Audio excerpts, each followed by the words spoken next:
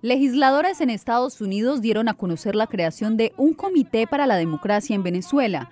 Según ellos, el propósito de esta junta sería mantener el tema de Venezuela como una prioridad en la agenda del Congreso estadounidense a fin de promover acciones que ayuden a Venezuela a salir de la presente crisis. Yo, creo que esto viene a reforzar muchos de los eh, esfuerzos aislados que se venían haciendo de ambos partidos. Y aquí lo que viene a ser un inicio de formalmente colocar a los dos partidos en las iniciativas. Y lo importante es identificar con ellos las prioridades. Esta iniciativa fue impulsada por dos representantes, el republicano Mario Díaz Valar y la demócrata Debbie Wasserman. Tras el anuncio de la creación de este comité, queda claro que el tema de Venezuela une al Congreso estadounidense. En un Washington dividido, tenemos una política aquí hacia Venezuela que es totalmente bipartidaria.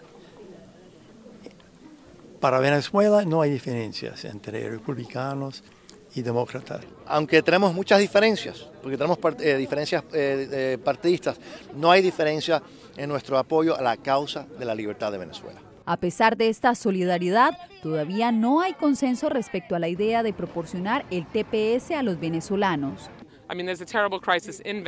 Hay una terrible crisis en Venezuela, pero tenemos cientos de miles de venezolanos que han huido hacia Estados Unidos, que necesitan asistencia. Y ciertamente, ¿por qué estaríamos sancionando al régimen de Maduro? ¿Por qué estamos diciendo que Venezuela es ahora un narcoestado y que esa es una crisis de proporciones épicas?